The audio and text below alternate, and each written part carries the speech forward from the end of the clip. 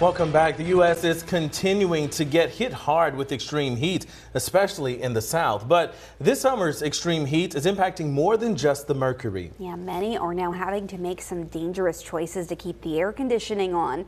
Casey Stegall has more details from Dallas. A little bit over $100. 387 I want to say. $400 this month.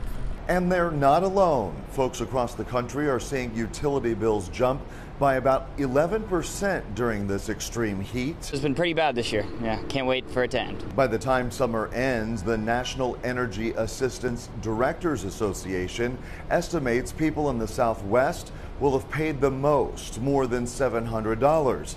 The West Coast handing over the least amount of cash at just under 500 bucks. That's going to harm people's budget. They're no longer going to be able to buy other things that bring them more value and more joy. But this year's heat has been especially hard on certain groups. According to USA Today, there has been a 15% increase in utility shutoffs among low income Americans. Federal data shows only 19 states and Washington, D.C.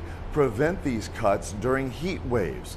The elderly also trying to deal with those rising costs. Advocacy groups say some seniors don't have enough money to spend, and the extreme heat is forcing them to make tough decisions about what they buy. Seniors sometimes on a very fixed income have to decide am I going to go buy groceries or get this medication or am I going to be able to pay for these household expenses? And still no relief in sight with forecasters expecting temperatures across the south to remain extremely high for the rest of this month.